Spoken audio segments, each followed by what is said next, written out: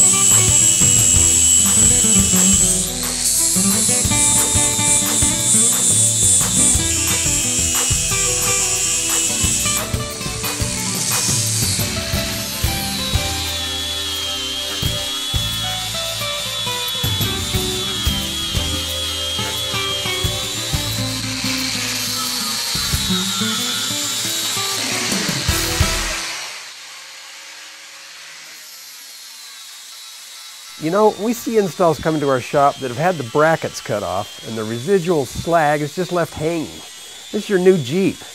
Take a couple of minutes and make it look sanitary. Make it look like those brackets were never there. Now, Jenn's using a four inch grinder with a flapper wheel that really does the trick.